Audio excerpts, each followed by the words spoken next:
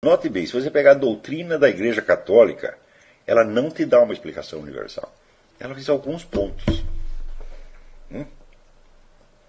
E é incompleta e está sempre tendo que acrescentar alguma coisa a mais, alguma coisa a mais. Por exemplo, eu ontem mesmo estava lendo aqui no livro do Garrigou Lagrange, que é o, o guru, guru máximo dos, dos escolásticos, que não era um filósofo, era um teólogo, e é, ele dizia assim, me empresta, esse, me empresta esse livro que eu dei para você, é do Deus, sua existência. Hum? Eu vou mostrar para vocês. Lacunas imensas que existem na Igreja Católica, né? na doutrina da Igreja Católica.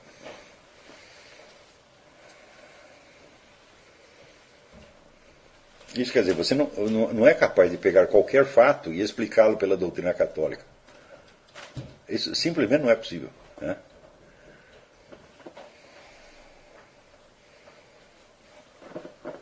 Opa, obrigado. Aqui.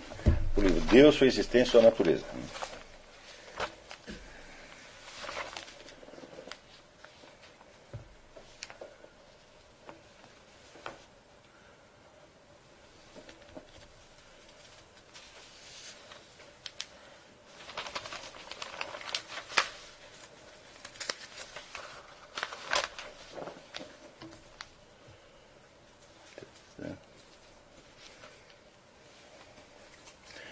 Aqui, está dizendo aqui dos, vamos dizer, dos atributos de Deus.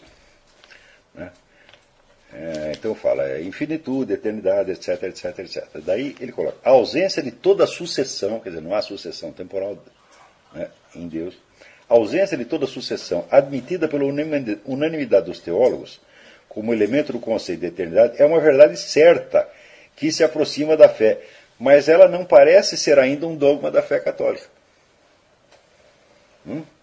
Então, existe sucessão ou não em Deus? Bom, todos os teólogos dizem que sim, mas isso não faz parte do dogma. Então podemos continuar discutindo. Nós, quer dizer o seguinte: nós não sabemos. Né?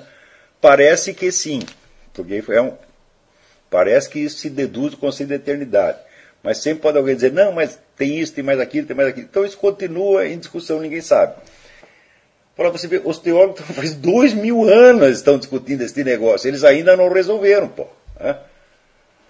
Então, quer dizer, a igreja né, é obrigada a dizer: olha, nós não há um dogma, não, não proclamamos nada, sobre, não chegamos à conclusão.